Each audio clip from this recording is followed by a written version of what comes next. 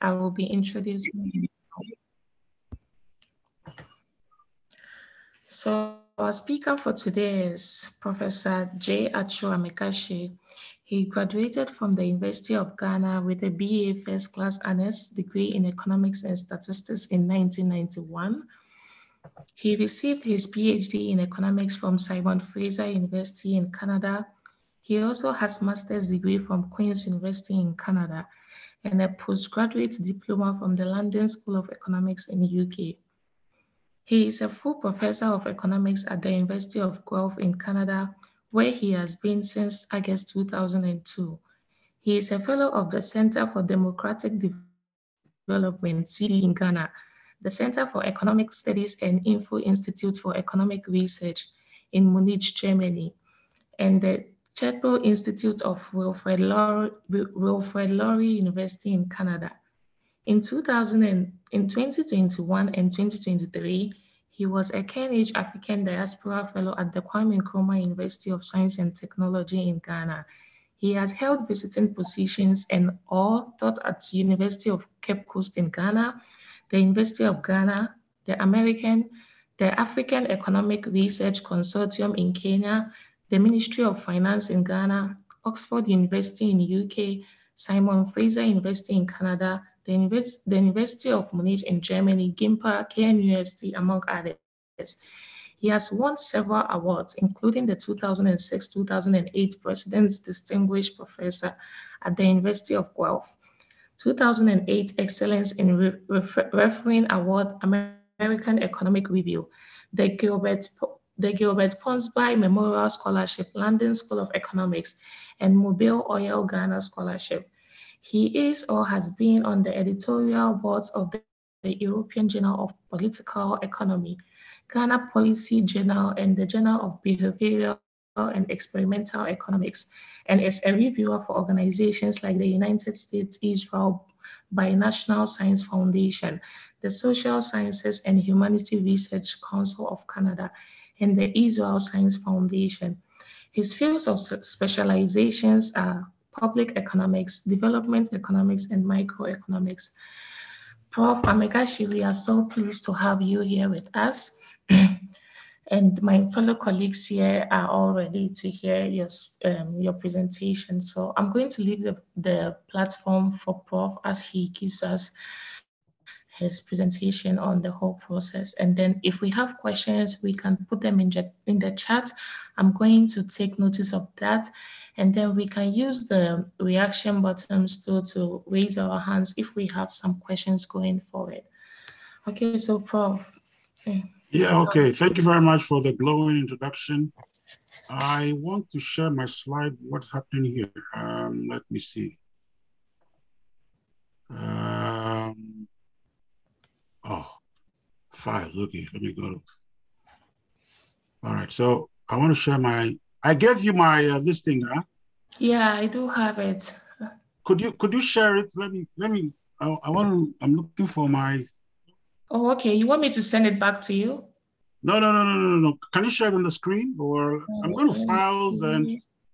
Share screen. Or, or okay. maybe I have to. I have to go to. I'm saying. I'm not saying my USB drive. All right. I'm. I'm, I'm saying my Google. I'm saying my Google Drive, but not my USB drive. All right. I don't understand why. Let's see. Let me see there. Uh, or should I just save? I can save something Google Drive and just move it. Let me see. I can what? share my screen too if you want. Okay, but what? But why is it I can't share my? Uh, I can't even see anything on my desktop. Okay, you know what? Because if you share, then I have to be, I have to rely on you to yeah to continue. Uh, yeah yeah. So let me let me let me let me do something quickly guys uh, just give me a, a, two minutes. Um uh, let me see. KNUST talk. Where is this thing? Uh yeah but i can i, I can start talking. So um uh okay uh KNUST where is that okay talk and then um successful economist. file, save as, uh, browse. Should I go to the desktop? Uh,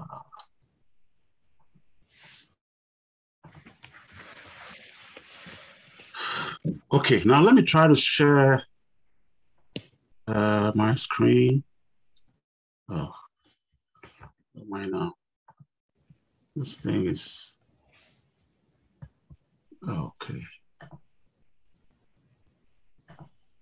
Mm -hmm. Okay. You are screen sharing. Can you share? Uh, uh-huh. Can you see? Or yes, Prof, we can see. Um, you can see the you can see the screen. Yes, we can. Okay, okay. So you can see it's it's working now. Yes, please. All right. So sorry for the that uh, Visto. Uh, thanks to Hamida and uh, Dr. Farouk for inviting me one more time. I gave this presentation in November 2021. So I didn't know that one and a half years now. So the, the title of the presentation is Postgraduate Economics in Canada and Beyond. So maybe for the most part, I'll focus on Canada, but I'll talk about the UK, US, and other places. So let's look at the ranking of English. You know, Canada is bilingual. We have a French and English as our official languages.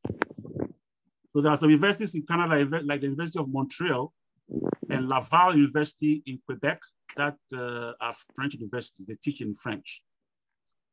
Uh, so I'm going to focus on only the ranking of English economics departments in Canada because I presume most of you don't speak French. So there are rankings of schools. So tier one, and this is not this is not in any order. Uh, we have Queens, Toronto, Western Ontario, Simon Fraser, McGill, UBC. Tier two, we have McMaster, York, Guelph, Alberta, Calgary, Concordia, Carleton. Tier three, Dalhousie University, Saskatchewan, Manitoba, Waterloo, Victoria, Ottawa, Ryerson. Uh, uh, well, well, okay. I, I'm putting some schools in tier three, but I can put them in tier four. They, they only have MA, they don't have. So these schools are Lethbridge, Brock, Regina, Winnipeg, New Brunswick, Memorial, Prince Edward Island, and Trent. Uh, so, um, how do you get into these schools, right? And I'll, I'll, make a certain point about the trade-off between admission and financial support. So the first thing I'll tell you is that I get emails from people and stuff, but the one thing you can do is that use your networks. In other words, for example, go to a department that you want to apply to, check people. And the people you see professors, administrative staff, you see uh, students. Click on students and see whether you can identify any Ghanaian or African names and contact them because they are there and ask them, how did you get here? What are the funding opportunities? I mean, let me give you some information about the, where they are. And of course, you also know people who got admissions to universities abroad. Like if if if if uh, Hamida is now at Ohio University, uh, wherever she did a undergrad, people know her. Some people can contact her. So I, I went to the Department of Economics at Texas Tech University. And actually, I hadn't heard about the university before because in Texas, the universities that are more popular are the University of Texas at Austin, which is probably the best university, Texas A&M, uh, the University of Houston, and so forth. I've not, I didn't, I hadn't heard about Texas Tech University. But the way I got to know about this university was because I went to teach at KNUST last year. Was it last year? The, no, I think I went to teach at KNUST in 2021. And so there's a guy doing an MPhil there called Eric Ayamga. So if you look at my screen, he's number two. He was doing an MPhil at KNUST. I think he did his bachelor's too at KNUST. And he, he, he, his name is Eric Ayamga. So when I went there this year, I was told that he had left for Texas Tech University to do a PhD, which is Texas Tech University in the, U in the US.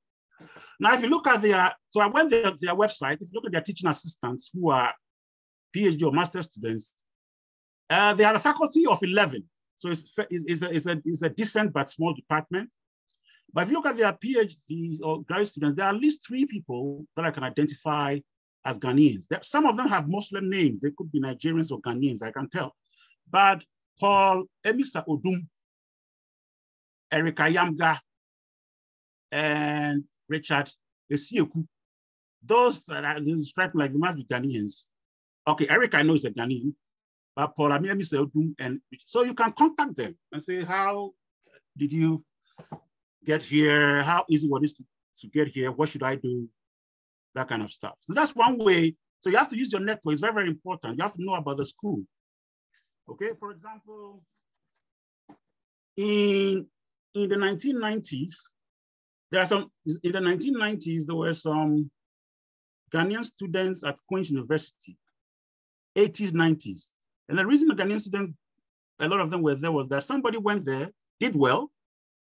So when the person did well, it's the same with, it's the same with Simon Fraser, where Dr. Farouk and I went to. So if they see that Ghanaian students come and they do well, then they, they admit more Ghanaian students, right?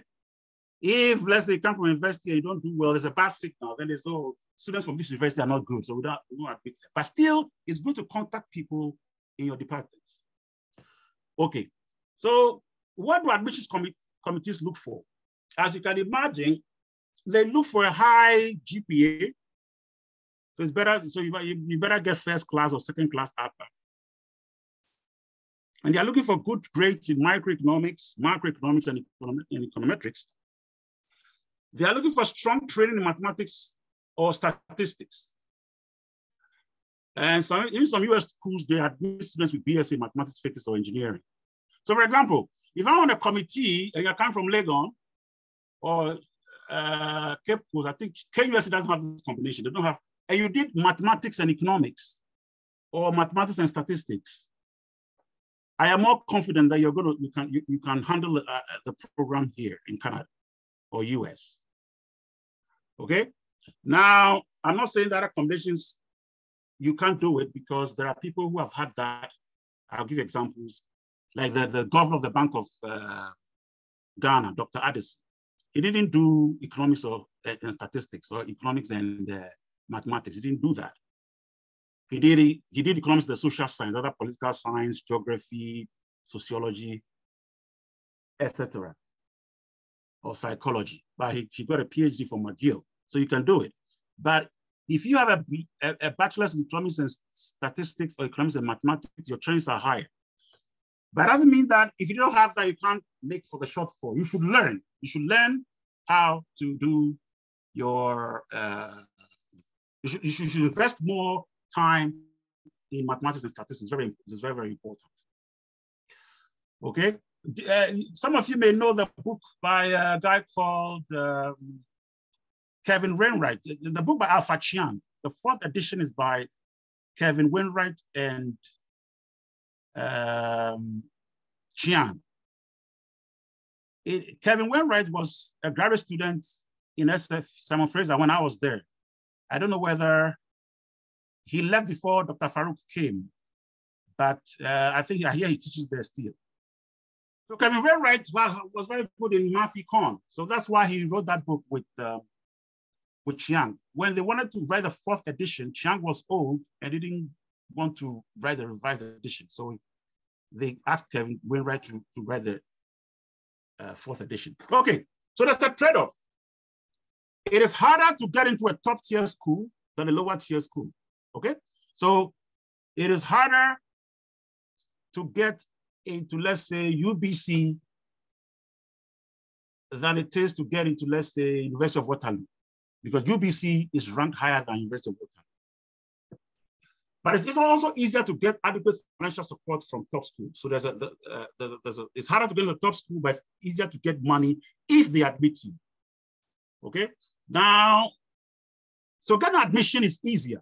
So sometimes people get admission, they get excited. don't get excited yet.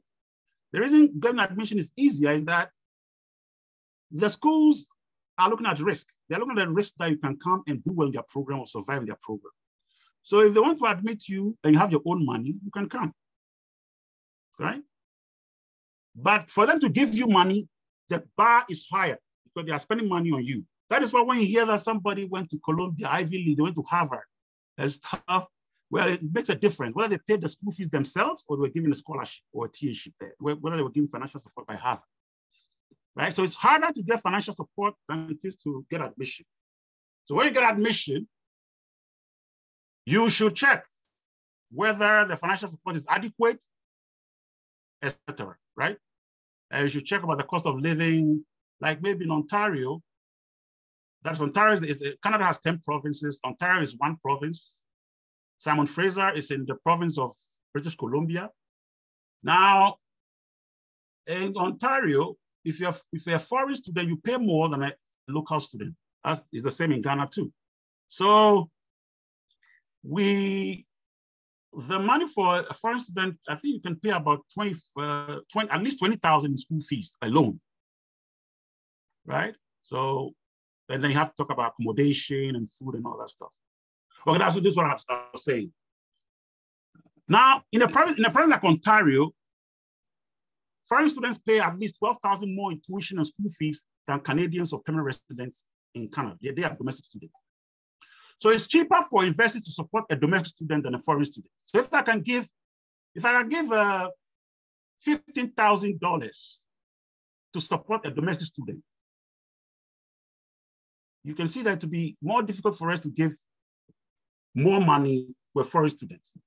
So we have to, so the school has to think that you are way better than a domestic student for them to be giving you that funding. So that's why they look at people who are first class or very good second class actors because they can get people from here. And that's why it is difficult to get the top schools because the top schools, the very top Canadian students apply to those schools, right? And it's cheaper to fund them, okay? So that's that. So you have to you have to kind of uh, try some top schools and some middle range schools, right? Uh, yeah. So why would the university support foreign students? Okay, so there are is a, there's a competition for students. The best domestic students go to the top tier Canadian universities, or they go to the US.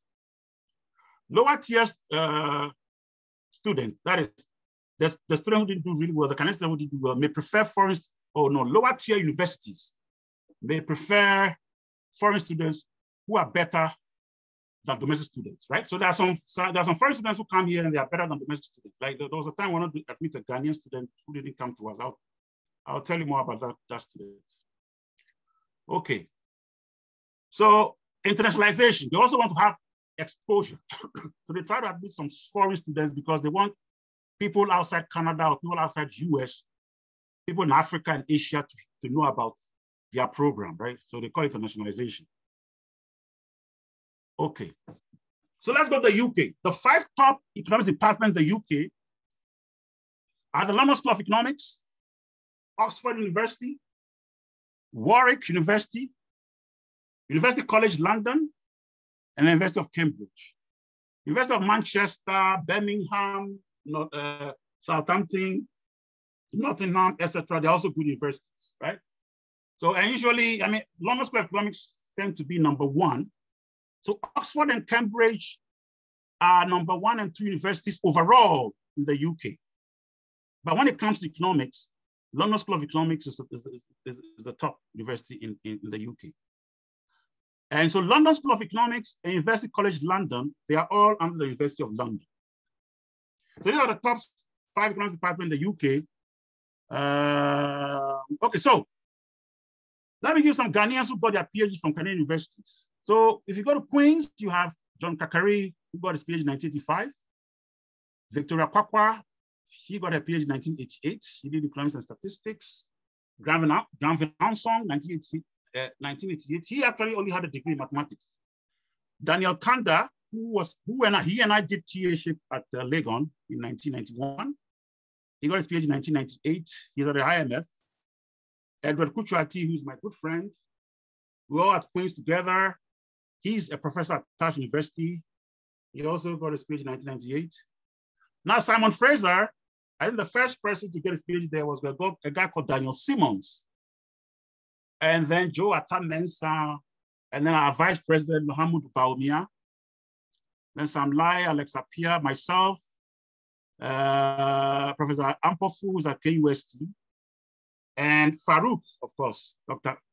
Dr. Farouk, of course. And then I think there are, Farouk, are there any more PhDs in the SFE program?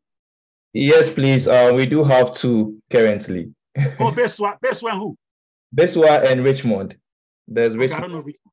I know Beswa. Okay.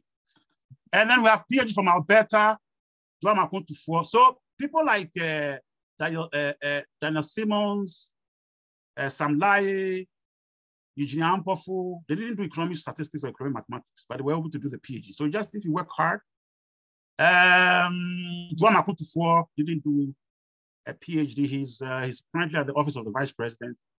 Ebenezer Assem, he did economics and statistics. So one, one interesting thing about Assem is that Assem has two PhDs. He has a PhD in finance and a PhD in economics. So he's at the University of Lethbridge Business School. McGill, we have uh, Godfrey Potufe Agama, uh, who was used to be a Bank of Ghana. He got his PhD in 1965, that's long ago uh, Henry Wampah, he's also governor of the Bank of Ghana. And as Yedua is governor of the Bank of Ghana. So we have, so we have three PhDs from McGill who are governors of the Bank of Ghana. And then and Laurie Ann Agama, who is Dr. Agama's daughter. And then Alex Bilson Darku, who's at Lethbridge. Toronto, we have only two PhDs from there. And uh, Wampah also didn't do economics or mathematics or statistics or mathematics. Alex Bilson Darku also didn't do statistics or mathematics. He was a year behind me. Now, if you go to McMaster, you have Nick Pakusowa, Yaw Asante. Yaw Asante is a, prof- a lecturer at um, Legon. Nick Pakusowa taught me at Legon, but he's left there. John Ofori-Atta, he got his PhD from University of Ottawa in 1965. That is Ken Ofori-Atta's father. Uh, Okay, and then we have Manitoba, Georgite, Akwena, and all these people. So, so there are people, there are uh, people who have got their PhDs from um, all these places, and not and all of them didn't do statistics, or mathematics. So if you did something else, you can still make it. If you did economics, political science, it's still possible. Okay, now if you have an MPhil or an MA, should you apply straight into the PhD program? And the answer is no, bad idea. If you admit us straight from MA or MPhil into PhD here, you will not, let me talk, let me say PhD, you know, go see top. You just, uh, you just get crazy. So as I speak now, there's a guy in our program who has a PhD in economics from Nigeria who has failed a qualifying exam. And uh, the next exam is on, on July 28th. If he fails again, he'll be kicked out but he already has a PhD from Nigeria. He's even have a publication in, in a journal. Like he, he, he failed, right? So, so even there, and it's not about it's not about Ghana. There are people who went to top universities who still came here and did their masters because when you do your masters here, you get used to the Canadian system. Number one, I'll, I'll give another reason. So Edward Kutsoati, he had his MPhil from Cambridge in economics, but he came to do an MA at Queen's. Daniel Kanda had an MSc in economics from Warwick in the UK. He came to do an MA at Queen's before he did a PhD. Ebenezer Assem, same thing, MSc uh, Warwick. Uh, I wrote MA Queen's, but I'm not sure. I think he just came to do an MA, I think in Alberta. This guy was my mate at Simon Fraser. He's called Vasil Golovetsky. He did an MA in Ukraine and came to the, uh, uh, SFU to do an MA again before he got into the PhD program.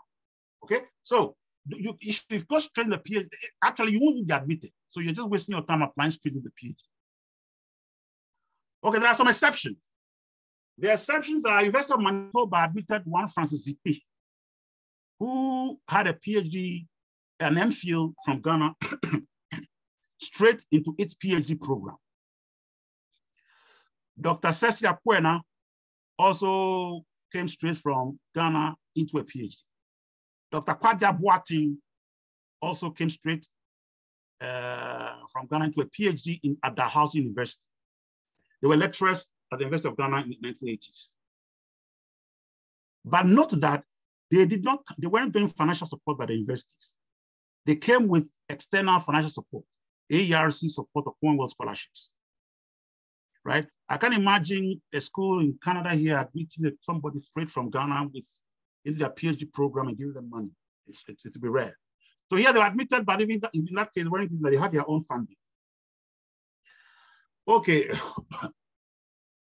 if you have an MPhil, uh, an MA or MPhil, like I said, the second MA in Canada is better because PhD qualifying exams have a high failure rate. So at Guelph, in 2010, we four students were kicked out. I mean, they are they are not Ghanaians or Africans. They are non non Ghanaians, non Africans there. In 2013, five students were kicked out out of 13 students. In 2021, five out of six students failed their first microeconomic qualifying exam. Okay, so the failure rate is high. And I think when I was at Simon Fraser, I don't know whether things have changed, but it was just kind of the same, right? When when when when when I was on Simon Fraser in 1999, when I wrote microeconomics comp, we were six, and two people, only two people passed the first time. Okay. In 2018, a Ghanaian student with bachelor's from Legon and M in economics from Sweden withdrew from our PhD program because she failed the comprehension exam. That's there's an exam you have to write before you can start writing your thesis. In 2018 and 19, a Ghanaian student, MA in economics from University of South Korea, and a Nigerian student, MA in economics from the University of Birmingham, UK, were kicked out of the program. In 2021, two Ghanaians were kicked out, out of the program. They had they had they had first class from in in in um, in uh, from investing Ghana from K University. So this continues. So it's so so so if you have an MPhil, it's not a good idea to find a PhD. Come apply for the MA again. Of course, you have a bachelor's, you should apply for the MA. Um, in the US, you can go from bachelor straight to the PhD, but, and I'll, but I'll explain that. Okay, how prepared should you be? So these are the, some testimonies. Those are somebody who did an MA in Manitoba and went to the PhD. So the PhD program at University of Alberta is tough. I literally have no breathing space and I've contemplated quitting on several occasions, but I am still giving it my best. I completed KNUST in two, with first class honors. Now this guy has withdrawn. After, after I sent me this, a year later, I contacted me, said, no, I've quit. I, I, so he's working in Canada somewhere, right? So he's withdrawn from the PhD. This guy, there's somebody who had the first class from Legon, an MA in the UK, and an MA in Manitoba. So she went straight, she went, uh, she, she, she went I advised her to go into the master's again, and she applied for the master's. And she wrote me this text saying that it was so tough. He said, Prof, thank you so much for advising me during my application procedure. I'm now in Manitoba. We jump straight into math review and writing test after test. You are definitely right about doing an MA first because the courses move really fast. It is definitely quite different from the MS in the UK. And I would have had a hard time even if I made the cut straight in the PhD. So After she sent this, she did a master's and she wanted to go into the PhD. They told her grades were, she passed, but they told her grades were not good enough, so she didn't get in the PhD at Manitoba. Uh, so that's also, so, so, so, so this is what she told me 2013. Manitoba has definitely said no to PhD. According to the grad chair, they admit only if the person has straight A's in the theory courses. So she didn't make it, although she, she got a first class. But there's another person who got a first class and she did his MA at Brock University. Brock University is about one and a half hours from me. On my experience, it's been a lot. First was the environment, resources, class, blah, blah, blah. Then he says, our preparation in Legon is inadequate. My only slight advantage came as I pursued economics with two-year background in mathematics. So Legon trains you well, right? Legon training is, is, is decent, but the technical training is not high enough, right? So you have to kind of teach yourself and augment it, right? So, so the math econ that we do at Legon is, is good, but it's not strong. It's not very strong, okay? So I, I can tell you that when I, I came here, the statistics I did in the statistics department helped me a lot. And then of course I did the, the equivalent of elective maths, which is which in our time was A-level maths, and that also helped. So Legon gives you enough training, but you also have to augment it. You have to so so so so teach yourself more maths. Read more math stuff, math books. Teach yourself more math. It's very important. Uh, so like I said, but Africans who got their PhD from Guelph and other Canadian universities without doing masters, without doing economics and statistics or economics and math. Okay, now, uh, I think I'll skip this. Uh, this was the graduate chair in economics at Guelph asking me whether a Ghanaian student was good enough to come into our program. He had done the bachelor's at Post and he went to AIMS, African Institute for Mathematical Sciences. Okay, so I said, his math will be strong, certainly stronger than the math of average student in our, in our program because he, he, he went to AIMS and then he went to a school called Bowling Green in the US. So I checked their course outline to see whether it was equivalent to ours. So these are some of the things we look for. Now, there's a lady who was at the Central Bank of Nigeria. She has a BA in economics in 2001 from Covenant University, Nigeria. I hear that's a very that's a good university in Nigeria. And an MSc in economics and international economics from Warwick University, which is one of the top five universities in the UK. But she applied to us and we didn't take her. And this was what the graduate chair sent me in April 2021. He said, sorry for taking so long to reply because I checked, I, I, I contacted and said, what are you doing with this application? He said, sorry for taking so long to reply. I'm not sure about this one. You and I understand the UK marking system, but not everyone on the committee does. The biggest issue is the fall 2022 is nine years after she finished at Warwick. That means she means she's been out for so long, right? So, so if you if if it's been like a long time since you got your degrees, you're likely to get in, like 10 years, but this girl had been out for nine years. But also the main reason, the main reason, as I see it, was because, uh, you know, she had grace when, when the 60s. And I was telling him that, well, in the UK, that's high. But a garage chair wouldn't uh, agree. Okay. Now, there's a program called MSc in Quantitative Economics which is, which is at uh, Alicante University in Spain. They recruit people from KNUST. So you get the master's program. If you do well enough, then you, they put into the PhD program, into their PhD program. Okay. So there was this guy. He had an MPhil in economics from KNUST. He had he had all A's in eight courses in KNUST. But when he went to Alicante, he couldn't get into the PhD program. He didn't do well enough to get into the PhD program. He had to, he had to leave after the master's. Now, he, his math background was not strong. He did economics, got a first class, but, and got all A's, eight A's in all the courses took at, the MPhil level, at the master's level, but still couldn't get it. Now look at these people. Now let me give you, let, let me give you, I want to make a point. These people also went in the same program, did the master's at Alicante, and they're all now doing the PhD. Now, what differentiates them is because their math is good. So that other guy couldn't get the PhD, he did MPhil at KNUST. These guys did MSc at KNUST. The MSc economics at KNUST is below the MPhil at KNUST. So they did a lower level of masters, but they got the PhD program. Why? Because Abraham Lartey has a bachelor's in agricultural science. So he has done physics, math, and stuff. So his math background is, is, is strong. Esther Aqua has a bachelor's in mathematics.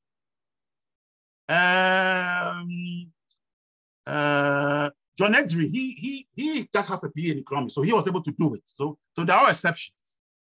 Uh, Hadi Ahmed, he also did poly economics, he didn't do economics or mathematics, but he told, he told me that he got A1 elective maths in, in, in SSS.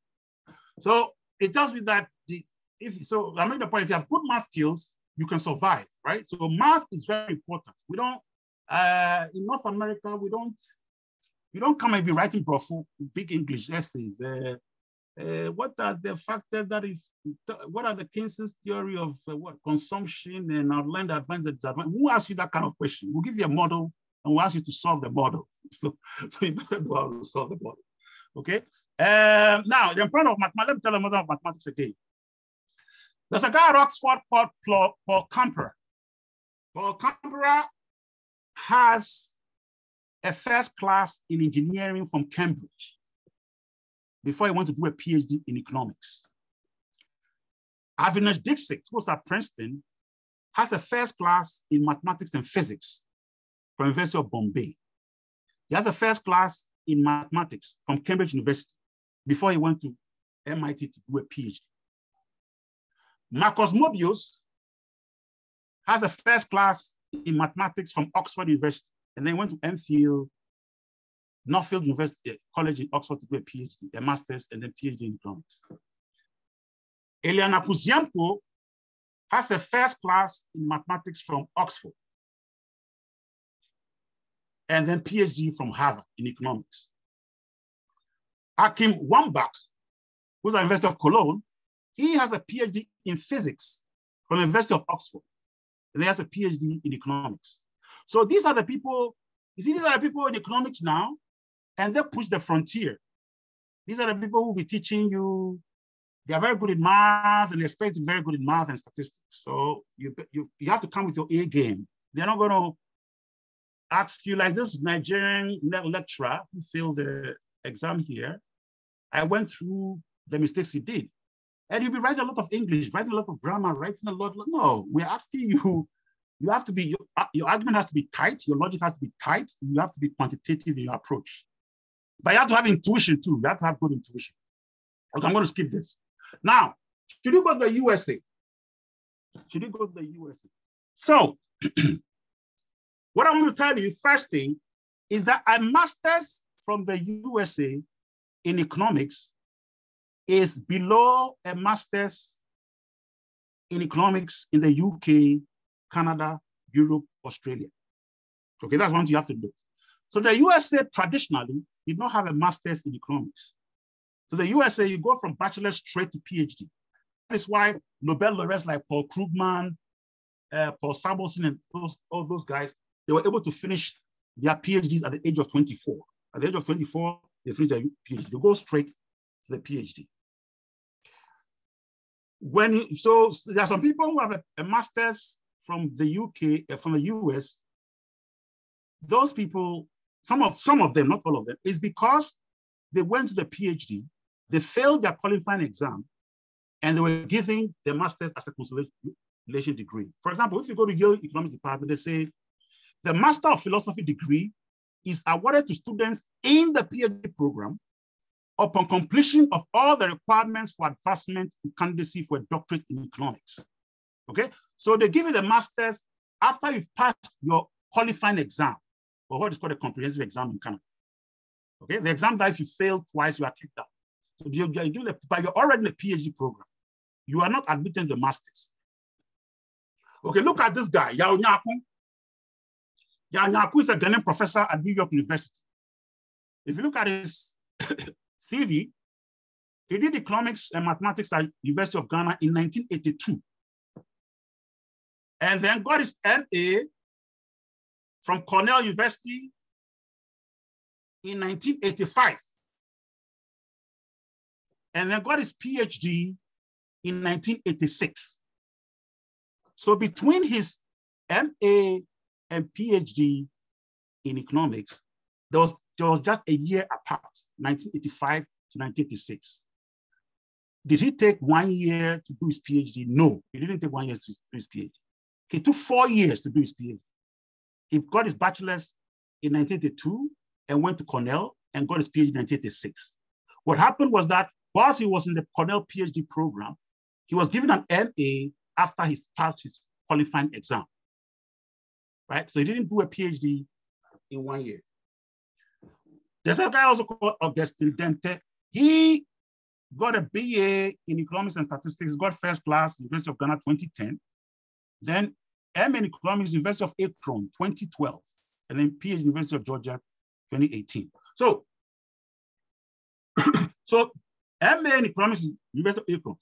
The Akron masters, uh, students have contacted me and I, and I asked them, send me your course outline, send me your questions. And when they send me their undergraduate type level, uh, uh, the level is a little like fourth year undergrad here. So, so if you're already in the US, you're doing a master's, you can apply to do a PhD in the US because after in the US, you can even go to a PhD with your bachelor's. But don't use your MA in economics to go to come and do a PhD in Canada. Okay, so uh, so schools that offer terminal M in the US. There are some schools that offer terminal MA, right? They don't, you just go into the PhD program, but the PhD program, you just go into the master's program, but the master's program is no equivalent to an MA in Canada or UK. So some of these schools are South Dakota, Central Michigan, University of Akron, Ohio, Ohio University, Florida State University. so I went to give a talk at Florida State University some years ago, and they have two streams. They have a, a PhD program and they have a master's program. The master's program is for people want to go into industry. So you, you, go, you get it and you go into industry. It is not to train you to go into the PhD. And they have a PhD program where they admit, they admit people directly. So the two Ghanaian students from KNUST who came here about three years ago, straight from the, into the PhD and failed uh, qualifying exam. Okay, so they had first class in economics from Ghana. Then they went to South Dakota and Ohio University. So I've, told you those master's programs, they don't, they don't have the same, if they are good master's program, they don't have the same technical rigor like a, a standard master's program in Canada or UK. So, but so they were admitted straight into the PhD program here. If the graduate chair had contacted me, I would have told them, told, told him not to admit them to the PhD program. They should be admitted in the MA program. But they came straight in the PhD program and they struggled. So I asked them, why did you struggle? What, what, what happened? And you can, well, I can tell. Their math was not strong. One of them, two, both of them told me, uh, Prof, we have not dealt with probability density function. We don't know how to manipulate a probability density function, right? So they, they didn't have this, these tools. So eventually we, we, they just end up with a master's here. They got a master's from Guelph, right? So if you're in the US and you do some of these universities where you're doing a master's, if you want to do a PhD, you can apply to a school in the, U, in the US. But if you apply to come to Canada, you have to come to do a master's again because your master's does have the same level of technical difficulty like an MA in economics. So some of the textbooks they use, like some, some of the schools use a book by Nicholson, Walter Nicholson. That book is an undergraduate book, but they use in the master's book. That's what I use my third year undergraduate year. It's called uh, Nicholson, ex, uh, what, Principles and Extension, Nicholson and Snyder. Okay, so that make that, okay. Uh, some recent PhDs and current students in Canada, I am going to, huh, these are the students I was talking about the students who dropped out. So one went to Central Michigan University and the other, other went to Ohio University. So they were in the PhD program from 2020 to 2021 and they had to drop out because they couldn't, but they, got, they all got first class. One did economics and geography. I don't know what the other one did, but they all didn't, their math was not strong. They dropped out because their math was not strong, number one. And uh, Central, Central Michigan University and Ohio University didn't prepare them for, for, for a PhD because the technical rigor was not there. So you have, if you're getting a master's from there, it is good. You can use it, you can use, use it to go and apply for a master's in the US. But don't, if you're coming here, you have to apply for a master's again. Uh, okay, let me just tell you how some students are doing. So uh, Dr. Farouk finished SFU. So I'm talking about recent current and PhD, recent uh, students Dr. Farah finished SFU and now he's at Amazon. Mr. Safwa finished PhD at the University of Calgary. He's at Niagara University. Henrietta Ajay Isiama finished uh, economics in, uh, uh, in uh, at Guelph. She's a PhD at, she's an economist at Statistics Canada, that Department of Statistics. Let me tell you something that's a German. And all the schools too are different. So, so the standard, they, they all meet the minimum standard. But you go to some place, you see that it can be challenging than others, right? So Henrietta, for example, she was a star at the University of Manitoba. She got all A's. When she came to the PhD program here, micro one, he had to do micro one with our MA students. And she said that the MA here was tougher.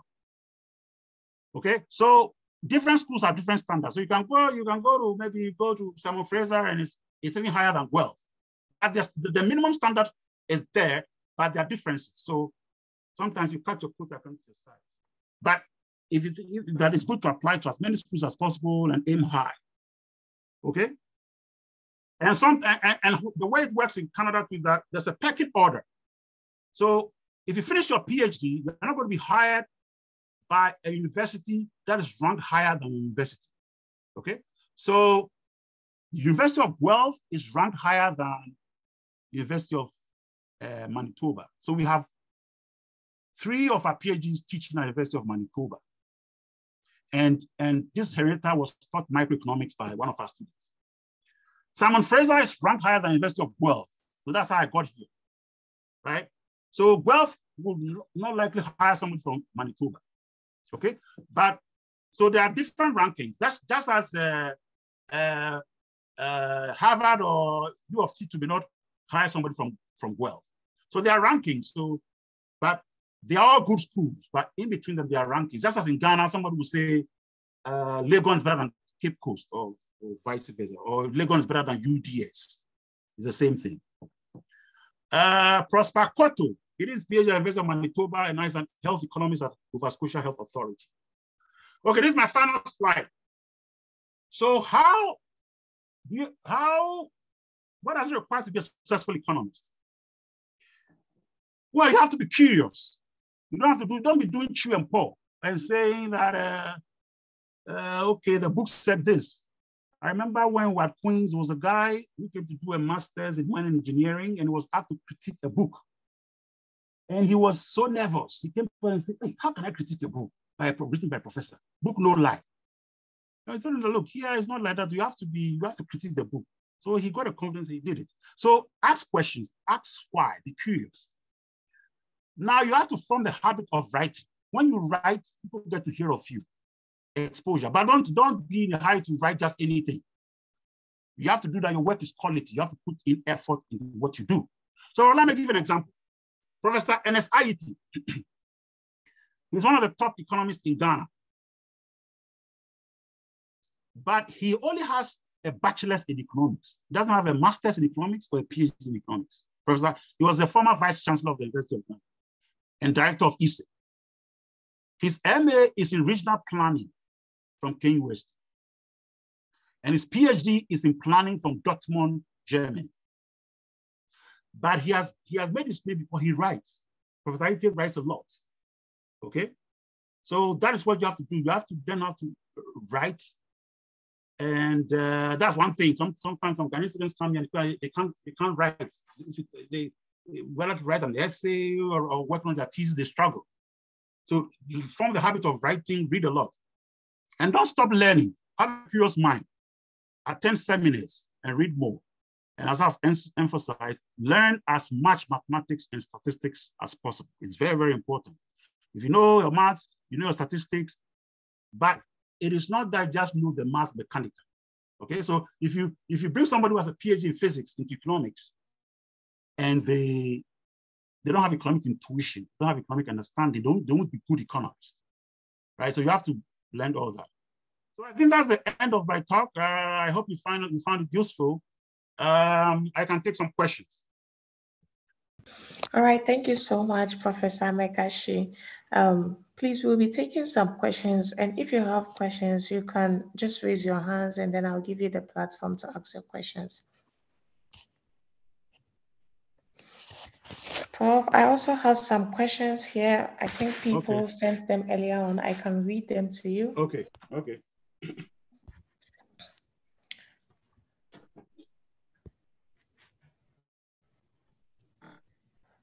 Okay, someone is asking, Paul, do I need to have a supervisor before applying for MSc Agribusiness and Agricultural Economics?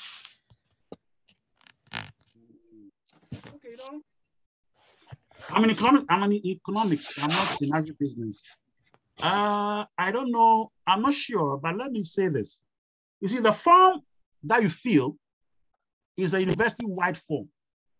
Okay, so okay. so that form is for somebody applying in physics, chemistry, biology, economics, sociology. Okay. Now, the pure sciences, economic, uh, physics, chemistry, and stuff, the way they are funding is that a, a professor has a lab and a research grant, and he has to fund you. So you, you kind of have to match with the professor usually before you go in because they have to have you have to you have to have their similar interest so that they can fund fund you. So that, so that nearby professor usually works for the sciences. But in economics, and probably in, uh, uh, in economics too, I think in agricultural economics too, you don't have to have a supervisor. You don't do that. All that you have to do is you have to come, you come with good grades, you pass your exams, and then when you're writing, when you're ready to write your thesis, you look for a supervisor. So that's what I did. That's what I'm sure Dr. Farouk did. That's all, what we all did. You don't have to have a supervisor because in economics, you are not supervised by, you are not funded by, by a professor. There's no, there's not like a lab that you work in a research lab. So we have a pot of money, we have a pot of money that we give to the students that we want to fund. And it's not, and it's not from any professor's research budget. Sometimes some professors are encouraged to do that, but we don't, we don't know. But the, as for the science people, their major funding is the research grants from their professors. So that's why you have to be matched with the supervisor. So that so that that form, when they say the supervisor, it's a it's, it's a it's an university-wide form. So it's, it's intended for the pure science students, not for economics like this. No, we don't we don't do that. All right, thank you so much, Prof. I think there is a hand here. Prince Fiajigbe, can you please talk? Yeah, uh, good afternoon, everyone. My name is Prince Fiajibe, and I'm speaking from Accra, Ghana. I must say that um, this has been exciting and um, interesting. I personally enjoy how Prof. Amegashie went about the entire presentation. Um, so at a point I felt, okay, so probably maybe it was only with regards to people who are interested in going to study economics. I have an agriculture background, and as at now, I have my list of Canadian universities that um, the masters I would want to go and study. I, I have that list of schools, and almost all the schools require that you first secure a supervisor before. Now, um, Prof. Amegashie, I think you also attended KNUST. I have, I have, I have quite um, some concerns, especially with regards to those of us who attended KNUST. The first has got to do with the fact that um, getting recommendation letters from our lecturers from KNUST. I left school in 2015. There was a point on Twitter I ranted tagging the KNUST handle as well as the voice of KNUST on there. They asked my the college I, I graduated from and then the department and all of that. It's gotten to the point where you actually have to pay for recommendation letters. I know that it is not the same in other places like the US and then Canada. The professors and then your lecturers are even excited when you come around to ask them for recommendation letters.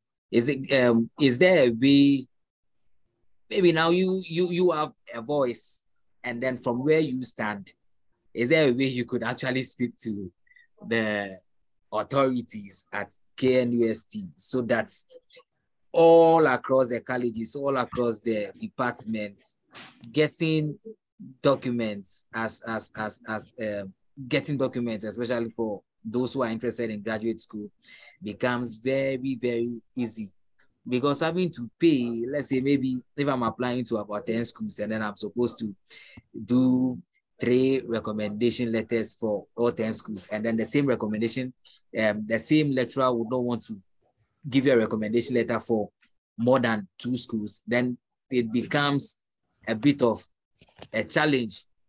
And so this is um, a plea I am making to you, a passionate plea. And um, in all humility, if you can speak to our big people at KNUST. Now, so I left school in 2015, but I've, um, so that was about eight years ago. But then I've been in the agri space for uh, about six years. And then, so for the two years, I was doing something not related to agriculture, but then it's basically statistics.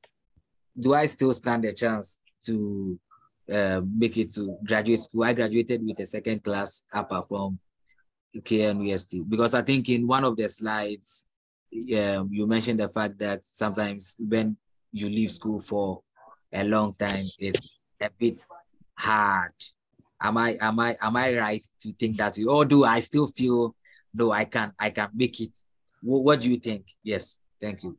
Okay, okay. So I'll answer your first your, second question about the first. Um uh, that lady were concerned about having left school for a long time because she was trying to get into the PhD program. The PhD program is tougher.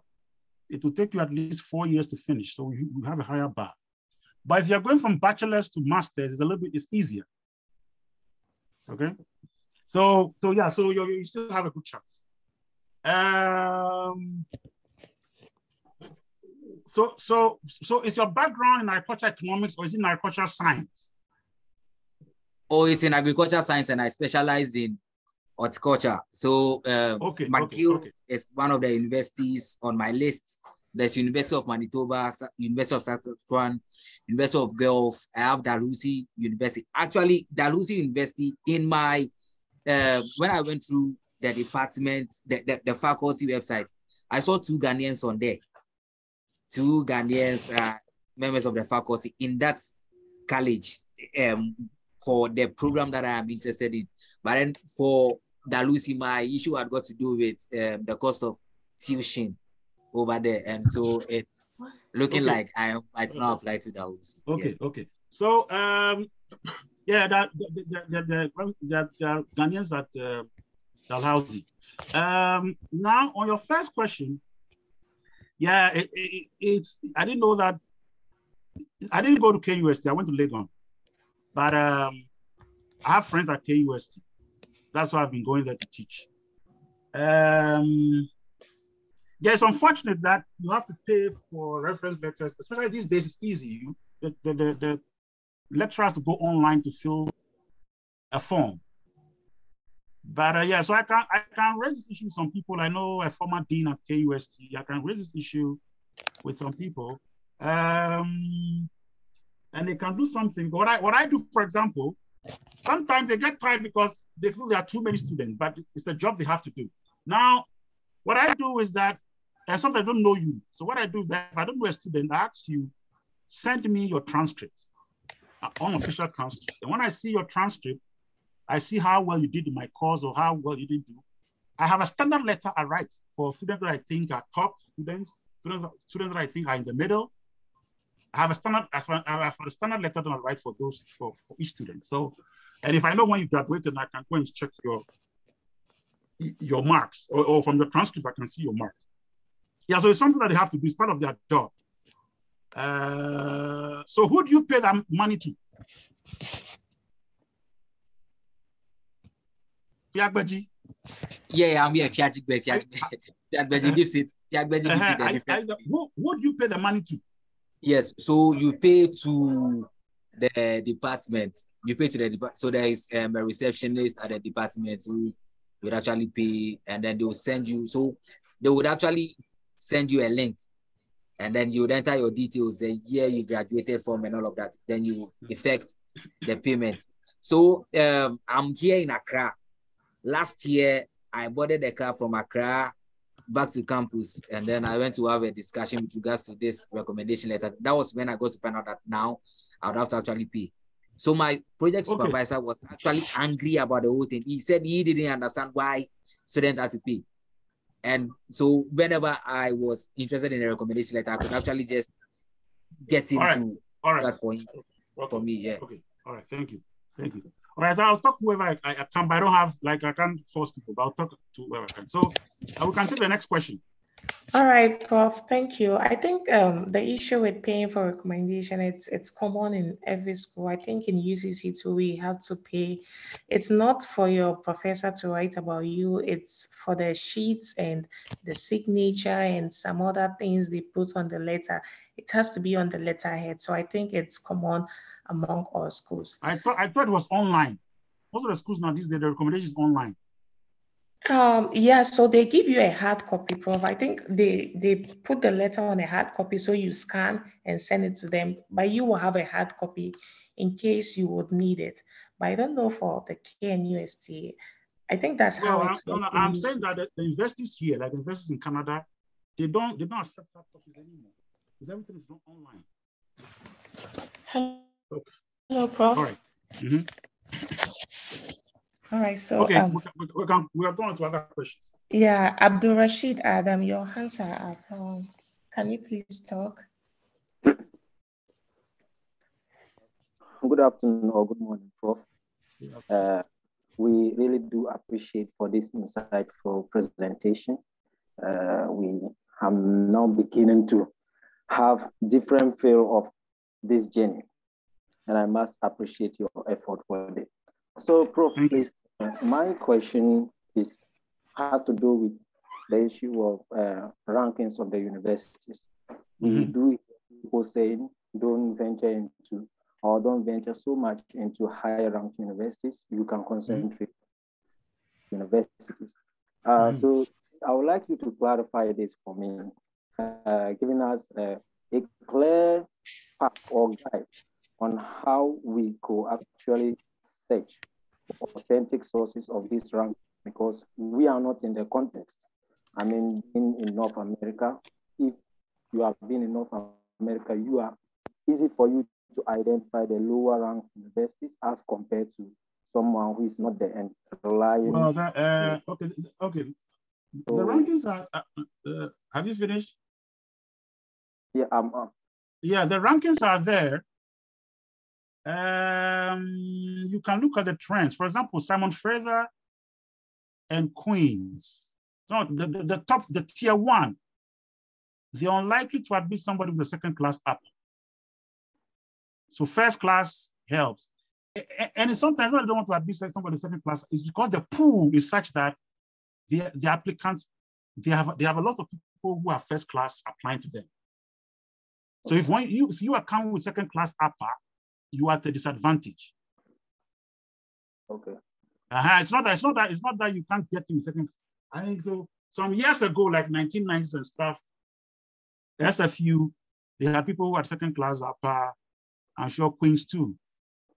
But uh, these days, they go for people with first class more often, right? And so maybe if you have second upper, you can try tier two schools that I've, I've given. Okay, uh, Prof, Mhm. please, for, for more clarity, my focus is on you giving us, let's say, authentic source where we could actually get the rank, authentic rankings of these universities. So Well, I don't know know. I don't know what else, but if you, you have to Google, Google, if you Google ranking, rankings of Canadian, Canadian economic departments, you will see it. Okay. So there's a ranking by RePEc, it's over here. If you Google uh, the US, for example, the top 30, everybody, the top 30 is clearly known in the US. Thank Right, you so, yeah. And uh, yeah, so, so, so, so, so that's, that's it. But unfortunately, you have to be paying application fees, but you have to, um, you have to, um, uh, you have to still apply to as many as possible. Okay. For, for example, let me tell you my experience. When I when I finished Legon 1991, okay? Now, I'm not making this point to brag. I'm making this point to show how difficult it is. Okay, so I got a first class, but the first year I applied, I got into Queens with partial funding. I couldn't go. I got into Queens with partial funding. I got to McMaster University with no funding. I applied to University of California, Berkeley. I didn't get into at all. I think I also didn't get into University of Rochester in the US. So after I finished my TA-ship in Ghana, I went to G Ghana International School to teach for a year in 1991, 1992, and I started applying again. Again, I got into Queens, and they got in partial funding. So what happened was that, that in both cases, Queens gave me enough funding for a Canadian student. If I was a Canadian, the money they gave me was enough. But because foreign students pay more, they needed to give me something called international student fee waiver. So whilst I was applying in 1992 to go to Queens, hoping that I'll get an international student fee waiver, then London School of Economics came with full support, financial support. So I stopped the Queens, I deferred Queens for a year, and I went to London School of Economics. And then they said, well, if you go to London School of Economics and you do well, we will we'll, we'll do have, we'll, work, we'll try to get you the international student, international student fee waiver, which will allow you to pay local fees. So in 1993, 1994, I got that and I came to Canada. So you just have to keep applying, right? So even, even so, although again, I'm, I'm, I'm not saying that to brag, although I got a first class, I'm saying that to make a point that although I got a, got a first class, it wasn't easy for me to go to get financial support. All right, thank you, Prof. Um, we'll take the next question from Aisha Amin. Aisha to Amin. Aisha to Amin, you can please talk. Okay, please. Uh, thank you very much, Prof, for the insights. Okay, so uh, I want to actually give a scenario with myself. So me, I completed school. That was my bachelor's degree in 2020 at the University of Cape Coast.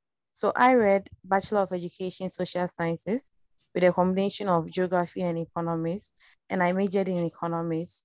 So I did microeconomics, macroeconomics, advanced economics, and basic statistics without econometrics. And then I started uh, 2021, I started my master's in agricultural economics at the University of Cape Coast. Uh, so I'm now in my final year and I'm doing the econometrics, I'm doing the statistics. So right after my bachelor's degree, I got first class actually, I think 3.3.8 something, that was my CGPA. And I got, I applied for master's outside. I got into University of California, Berkeley. I got into Western Michigan and Michigan gave me partial funding. But then I was advised that uh, they can't give me the pure economics because I don't have enough uh, statistics and mathematics background, even though I did the econometrics and microeconomics and uh, micro and the advance. They said it wasn't enough.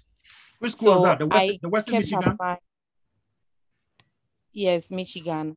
And okay. uh, for Berkeley, it, I wasn't given the economics. I was given the uh, development engineering rather because of my education background and the geography they said the course wasn't enough, so I was given development engineering. Mm-hmm. And then so both of them, uh, the Michigan funding was enough though, but some situations I couldn't go. So I had to start the master's year. And now I've been searching for the Canada schools and I've been going through, and most of them I really want to go and do the pure economics because right now I've done the agriculture economics and I want to do the masters in economics. But most of them are requiring for the GRE. Uh, and unfortunately, some of us we can't write because it's expensive here. So we can't write. So I'm thinking of right now that I've done the uh, statistics, econometrics for my masters, is it enough for me to apply? Uh, and the undergrads, I did the micro, macro, even the masters to have done it again, plus the economic and advanced uh, economics. Can I still use it to, to apply for the MA pure economics in Canada or uh, I, it's still not uh, enough? Your background, your background, is, you have some background in agriculture, right? Or you don't? No, please. So I just started agriculture okay. economics. no background in agriculture, yeah. But you, you are doing a master's in agriculture economics? Yes, in please. And field. Yes, please. Okay, okay, yeah. So I think you should you should apply. To, so yeah, you can apply. You should apply to some MA in economics and MA in agriculture economics to program. Because okay. uh, even when you're you see when you're in agricultural economics, you, you can take courses with people in MA economics.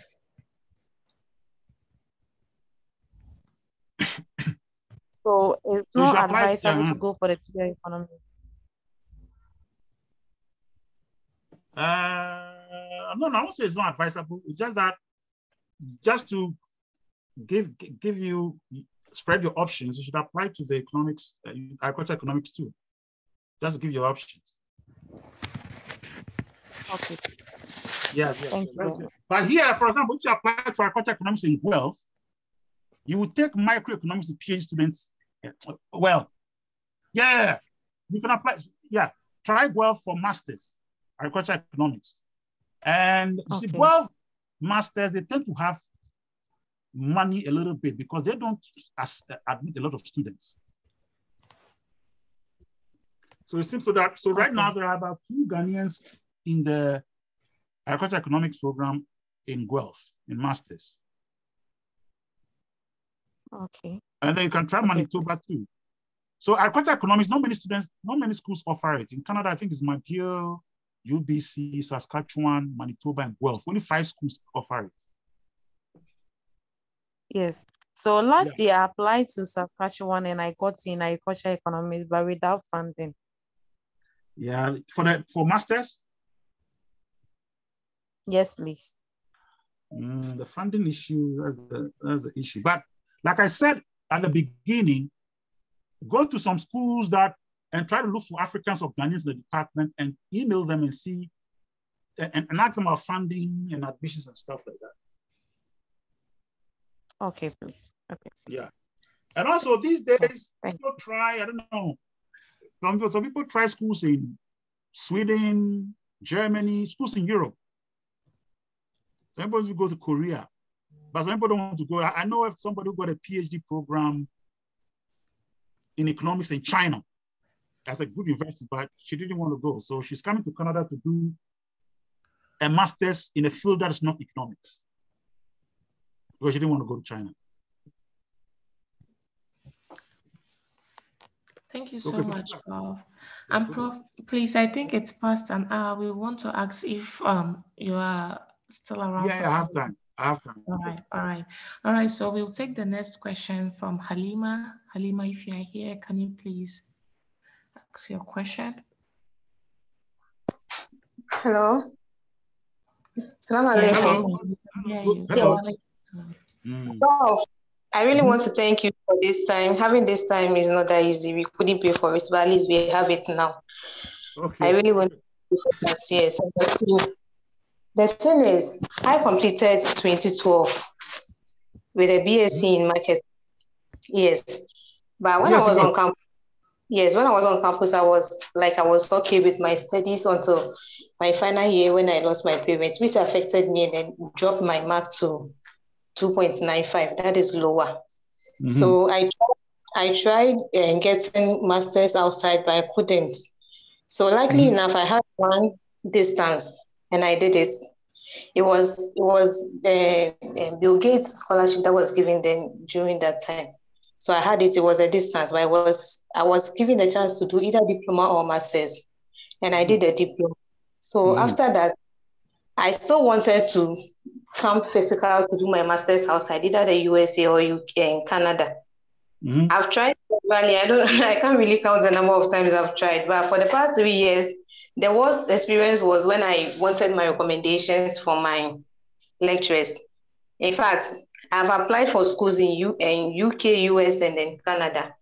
I almost got a lot, but without funding. Mm-hmm. And so mm-hmm. the last years, the one that I had, I applied to that mm-hmm. even though, I, but later on when I wanted to know the reason, no, sorry, even though I, I was refused for admission, I wanted mm-hmm. to find out because that housing in Saskatchewan, that, that was a school I applied to.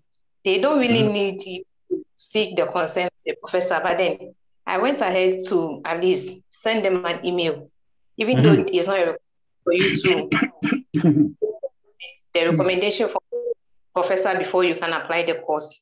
But I mm-hmm. still went ahead to, to, to send them an email, but I was still refused. So later I was I realized it was my recommendation which wasn't sent because uh, Canada and US mostly like the email type. So you have to go and pay in the school and then they will send your email. So I was mm-hmm. disappointed at my school, that is UPSC. I went to find out, and the answers I and the response I got from my professors, it was it was so sad. It was so mm-hmm. sad. Mm-hmm. Never time I want to move ahead in my education, but it's like I, am down. I don't know whether there's still hope. So even this platform, I've joined um, Biokis and the rest for some time now, but I'll get to the point, where I'm not able to cross. So mm-hmm. I don't know whether there is still hope for me. So because of that, I just jump on to apply to colleges in Canada. And luckily enough, I had I have two admission, but one I've dropped, and one is supposed to go for this intake. Even though I've done all my payments, but still, I'm not I'm not getting that confidence because it, it's not a program I really wanted to do. I want to pursue my master's and do my PhD, but it's like everything is shattered now. I don't if some kind of hope. So hold on. What what what what what program are you getting? But you say it's not a program you want to do. You know, I did a business related course, and some of these business related course, if I'm looking out for funding, I'm not getting it. And if I if I should change the course to, it's not related to me because all these years I, I'm an entrepreneur. I've been an entrepreneur. Like I haven't really worked in the with the marketing like this. You understand? I've been an entrepreneur okay, so, since. So, so what, what, what program? What is your ideal program? What program do you want to apply to? Yes, there was a government initiative here which I participated in waste management because I channeled into fashion. I wanted to use that platform. I went through the training fine, but I want to use that platform to go for my master's in either waste management, anything related to waste waste management, and if possible, yeah, hospitality or something like that. Okay, all right. So, uh, is it those programs waste management maybe, but business programs, they sometimes don't have funding. Like if you want to do an MBA, they think that is, is in a business field, you should come with your own money. But uh, yes. what did you say your what did you say your GPA was? You said it two point something? 2.95, please. Okay, so 2.95. So that that that that helped you a little bit. So yeah, you can get in, but but because before before they you know, they would they would pick the by the time they pick the first class and second class people, upper people, yeah, there will be not be enough space for you. So probably that's one reason you're struggling. But um, so are you doing a master's right now? No, I'm not doing anything because of childbirth. Also, it's like I don't know, prof. So I really is that is that is that waste management? Because you see, for you, your, your experience can help, right? Because you, your experience. So when you apply, try to write a compelling essay about the experience you have acquired in the field. Okay. Okay. Yeah. So so that can help with admission. Maybe funding is a is a tough thing. But I don't want to do a master's in Ghana at all. the cost, the essential, sorry, prof, the cost. No support. Oh, oh, you want you want you want your, somebody to pay for your, your education, right? Exactly. As I said, I lost my parents in my final year in the university, okay, and I okay, I understand. I understand. I understand. So, so you, so try. You should try. You have a lot of said. You try to Europe, Canada, and look for, let's say, development studies, sustainability studies. There's a there's a girl who is coming to University of Lethbridge to come and do a master's in sustainability studies. Okay. Uh, University of Trent University to do a master's in sustainability studies. And she okay. did economics. She has an MPhil in economics from Legon. There's a guy already there who has a, a, bachelor's in economics and statistics, who's okay. also doing a, a master's in uh, sustainability studies.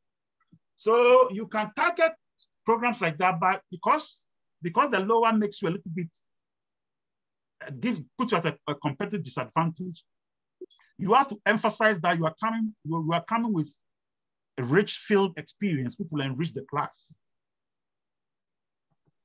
Okay. Okay, so, so good luck. Thank you so much, Paul. Um, please, can we keep our questions a bit short so that we can get platform for more questions? Okay, so I'll take the next question from Evans. Evans, if you are here, you can please ask your question. All right, so thank you very much, Hamida. Thanks, Prof, for that insightful presentation. As a prof, uh, when you come to University of Ghana, there's a combination of economics, statistics, and mathematics. And these are being run by three different departments. So when you go to economics, we have the economics department itself has courses that have math content. For example, mathematical economics, economic theory one and theory two have mathematical uh, math uh, principles and components. We also have econometrics, right? So uh, in level 100, when I came to University of Ghana, level 100, I took these three combinations, but at a point in time, well, I'm having uh, an issue with, with the math uh, because uh, there was a little family issue, so it was affecting my studies. And so I had to drop maths at level 100. And I continue with statistics and economics. So I finished with second class upper. So I'm asking, uh, do I have any uh, chance of being getting to go, for example, for the MA, knowing that uh, I did a little, uh, the maths, pure mathematics courses were, were not that many because I don't need maths in level 100, but I had uh, quite a, a, number of statistics courses up to three, uh, courses. So that's the first question. Now, the first, second question has to do with in terms of experience. You know, so uh, I know that graduate school is more of research. Yeah, so uh, when you have two students, one first class student uh, with uh, not that of uh, not enough experience, and then someone another student with second class upper but had some uh, amount of experience. For example, I work with CDD Ghana. CDD is like a research, a policy, a research ah, NGO. Hey. So, when you have sorry i'm sorry. Can can we all please mute our mics? Thank mm. you. You can continue evans. All right so the second question that when you have these, these two students someone with second class about some work experience especially in the research field. And then a first class students with a very high gpa but the experience level is not that much. Um, when you are admitting students which of these students do you uh, are you likely to pick? I know the class is also important, but the experience as well too is uh, something that uh, uh, I learned you also look at for. Mm, okay, so you, you have what? So you have a you have a bachelor's in economics and statistics. Yes, please, from University of Ghana. Okay, okay, okay, and you did maths first year. Okay, so you have you have uh, you have you have enough math. Okay, experience doesn't matter, not for economics. So that's what I was telling the other lady about uh, waste management sustainability studies. Those places, experience may matter, development studies, and by economics, you don't care for, you don't care about experience.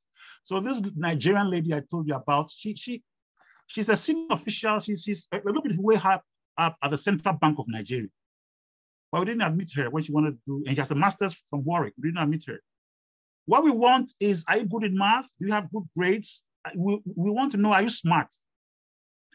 So the further, so the research you do at CDD, we don't count it because it's not the, the, technical level of that research is not high for us. Do you get it? The econometrics that you would do there, you're just doing PowerPoint and uh, uh, bar charts and uh, uh bar, uh, pie charts and all those things and doing scatter plots. So we don't. It's not. It's not rigorous. That's not something that we so you have to come with a good grades and a good mathematical training. That's what we focus on. Okay, so we, so it, it, it, doesn't, it doesn't matter. Uh, so like this Nigerian professor lecturer I told you, he has a PhD from Nigeria. He has even published in a journal, in a, in a development studies journal.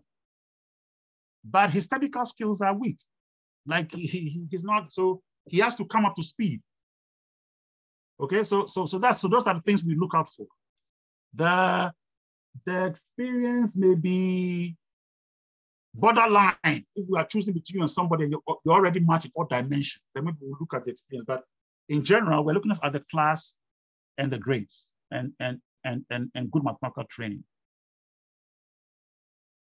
All right, thank you very much, bro. Okay. Thank you so much, Prof. All right, so I think um, we have some few minutes. We are going to take the last two questions.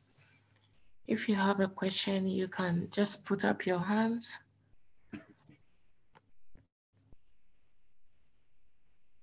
I think there was a question in the chat. I'm going to read it out, Prof.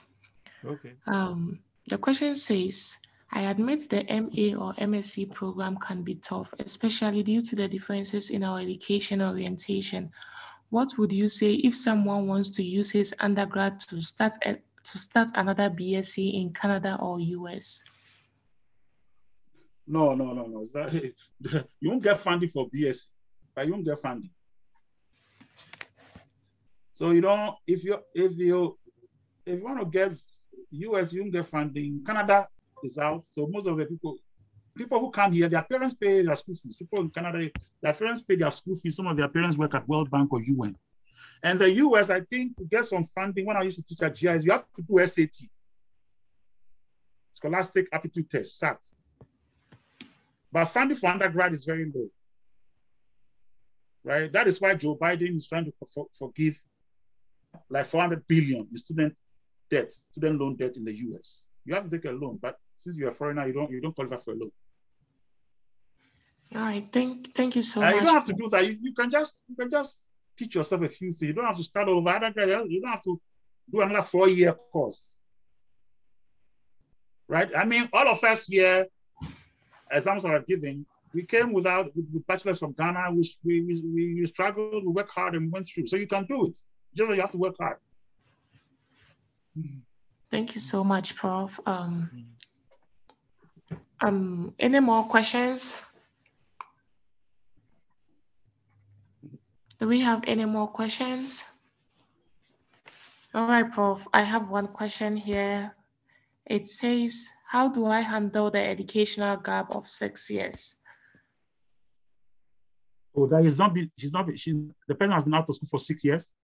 Yeah, out of school for six years. Well, then he has to be, the psychological has to be in the back to the school mode. So he has to be somebody, he or she has to be somebody who likes to, keep reading, likes knowledge, want to read. I mean, depending on the field you are. If you are in a field that's not technical, you're less likely to be rusty, right? So if you're in, so if you did history, sociology, those things, you can, you won't be rusty or political science because it's reading, reading, reading, right? But if you did something that had, has, has statistics, mathematics, physics, and all those things, the longer you are out of school, the, the more rusty you become because those things is not things that you find in your everyday interaction, right? Yes. But stuff they have, but somebody, you see, somebody who did mathematics and economics, and is very good, and I could tell, and very, it was very good in mathematics. Even if they come back 10 years later because they, they have a, a strong mathematical background, they, they, they, can still handle the math and economics. Thank you so much, Prof. Mm -hmm. It's been a great time today having you speak to us about graduate school application processes.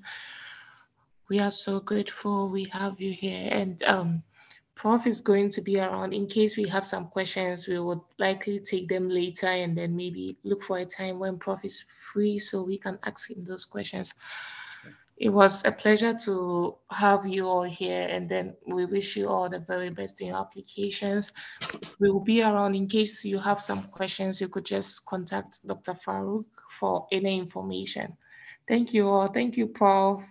Thank you. Thank you. Thank you everybody for coming. Thank, right, thank, thank you, very much, bro. okay. Okay. Thanks a lot. Yeah. yeah. Bye bye. Well, thank you. Bye bye. Bye bye.